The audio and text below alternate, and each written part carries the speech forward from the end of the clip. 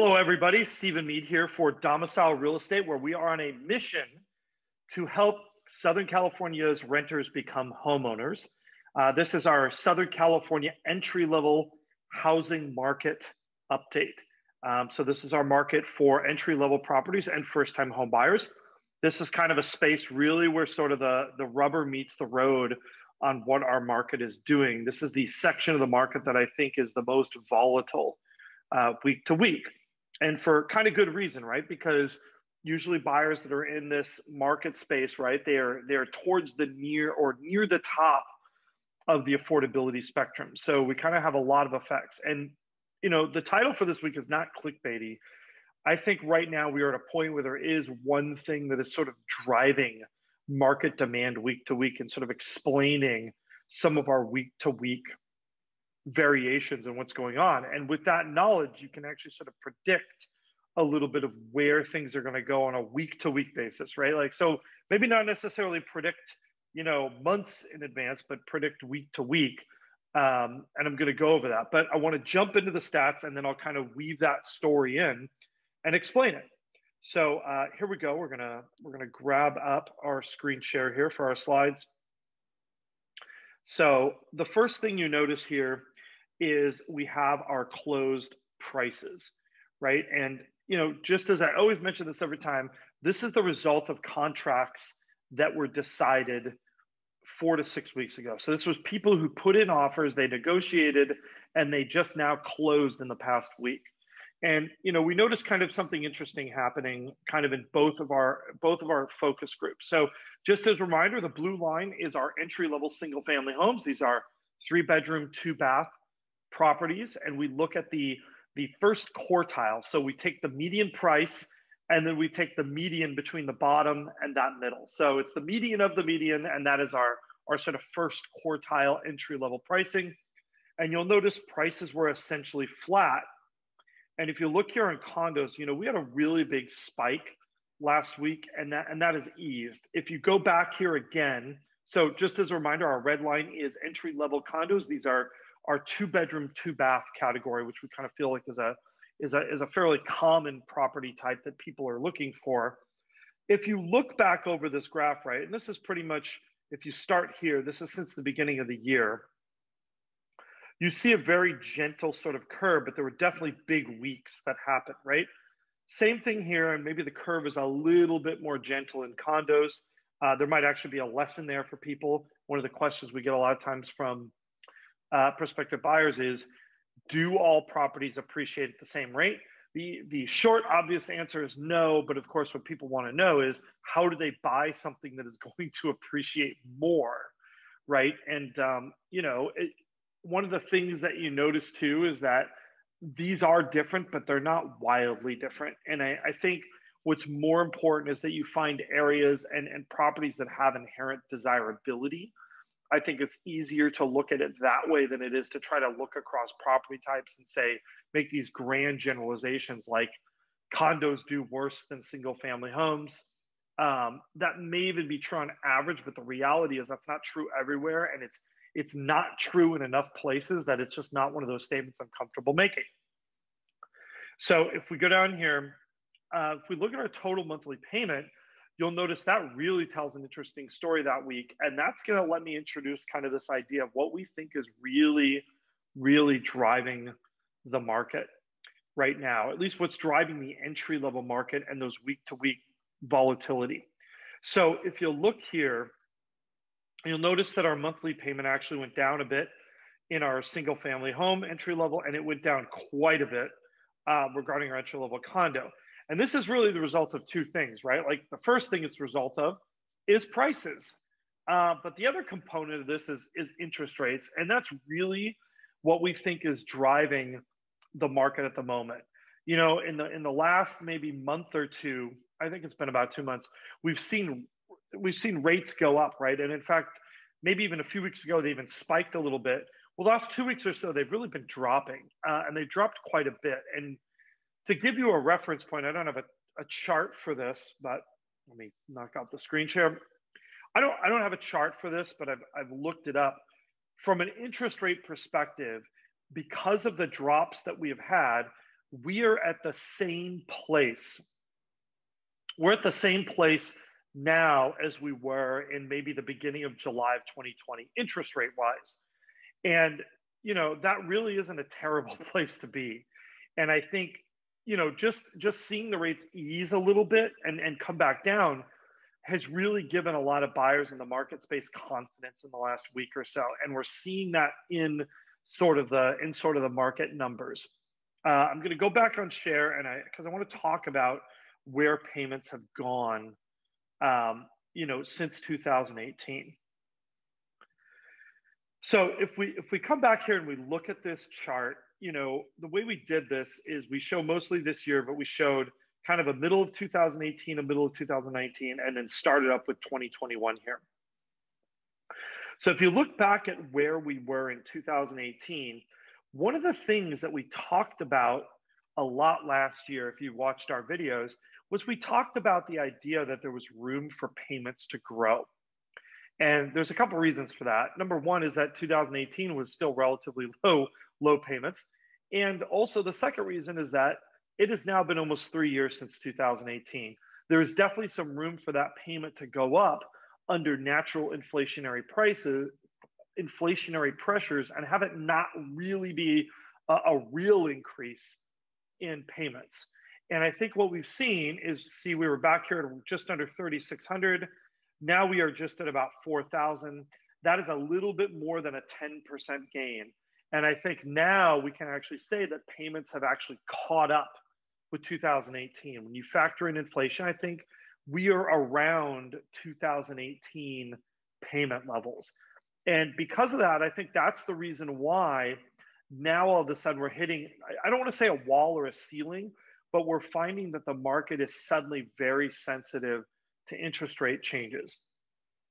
Um, our finally chart, final charter and affordability is, is just referencing this to a minimum income level required. And again, as a reminder, this is based on 5% down uh, with excellent credit and no other debt. In order to be in that entry level single family home, you're going to need a minimum household income of 97,000 to qualify or 72,000 in the case of our entry level condos.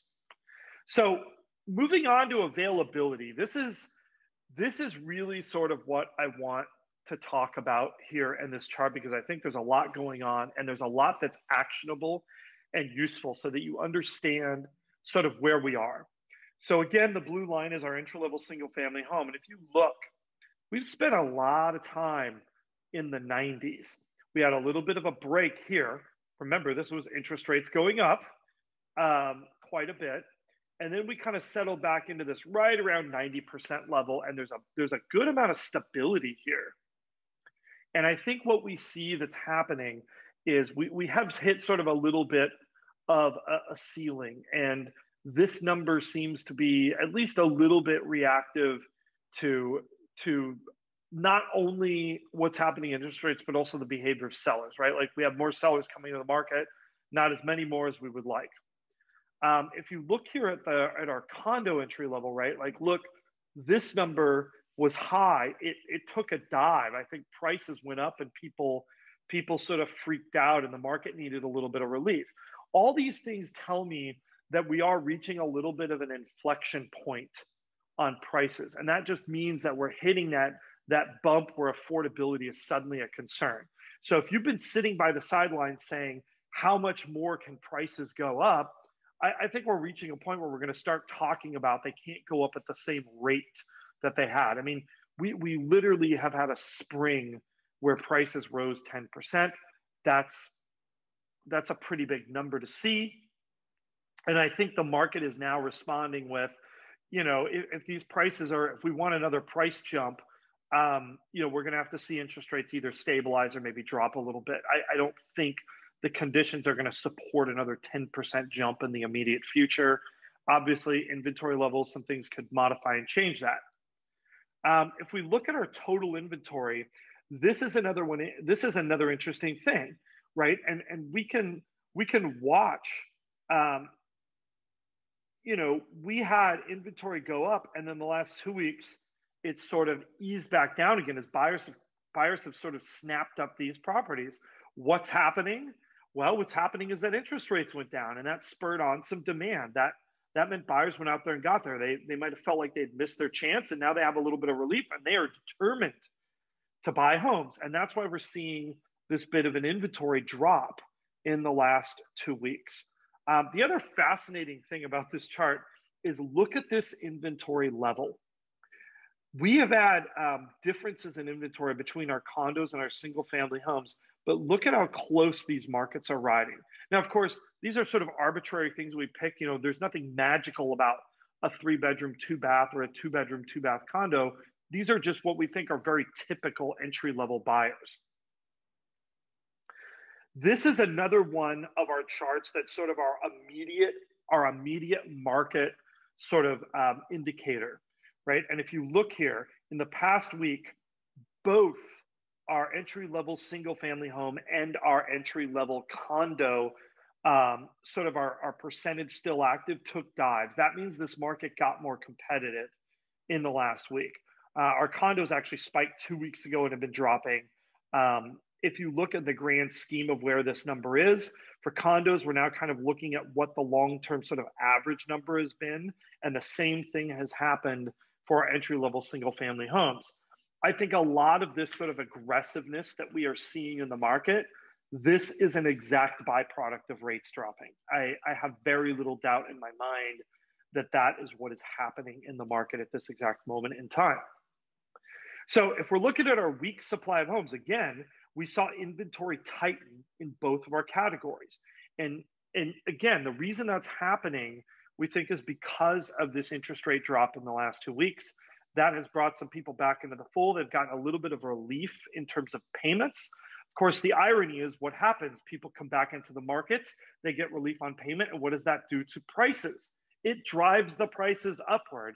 You know, there, there's kind of a statement among economists um, and that statement is the market finds a way, right? And and it doesn't matter sort of like what you do. There are these sort of like forces um, that will come back. It's kind of like you know if, if you drop water, um, you know water on like a, on, on a concrete sidewalk, it will find the lowest point. That's sort of what what it will do. And the market really reacts in in a very similar way. Is that you know you have an action in the market and then there's sort of a bit of a reaction that occurs. You know, markets look for that equilibrium. So, what does this mean if you're a buyer?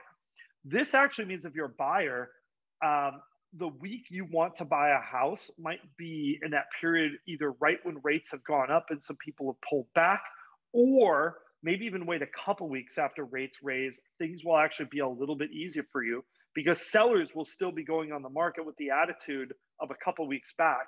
But the reality is, buyer demand might actually be a little bit lessened. Now, what I want to mention here, and I want to give another, again, a, a bit of a word of caution. We still have absorption rates that are in the high 70s to around 90% for entry level single family homes. This is not a buyer's market. And, and I don't want anybody to, to believe that me telling you that because we might have some week to week variations, there might be some weeks that are a little bit easier, that that means easier is not the same as easy. This is still a, a very tough market for buyers. But I also think part of the reason why it's a tough market for buyers is because of the, the homeownership opportunity in the long run is so good. If we enter a period of inflation, that means your real cost of your payment will drop. Because if we enter into a period of, say, 4% inflation, which is honestly historically not very high, but it's a percentage higher. If you are in a period of 4% inflation and you have a mortgage on a home and your interest rate is about 3%, that actually means that in terms of real dollars, you are making money by having a mortgage. That's a great opportunity. That's how wealth is built uh, over 10 years, 20 years, 30 years. And, and that's the thing that we tell first time buyers, right? Is I think most of our entry level buyers, they are focused on the here and the now. And that means they're thinking about what is my apartment going to do? What is the house I'm renting going to do? Is those rents going to go up? What does it look like to buy? Can I buy something for a similar payment? They're focused very much on those here and now.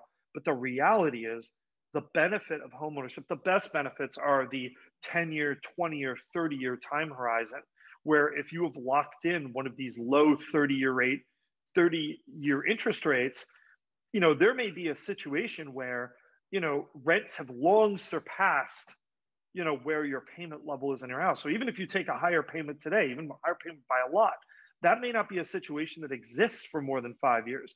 And that's why we really encourage people to take kind of that long term view of their finances when they're looking at this. This is really how you build that net worth over time. Anyhow, once again, thanks everybody for watching. I know we're a day late today. We've got some showings. We were busy yesterday. I mean, the market is very crazy. And, um, you know, to be honest, our, our clients come first before making videos. So we try to stay on time with these and, and we'll try to be on time in the future, but understand that when push comes to shove, uh, that's an easy decision for us to make over here. Anyhow, thanks so much for watching. Like, subscribe, hit the notification bell, send us your comments. We love to read them, we love to respond to them, and we will see you next time.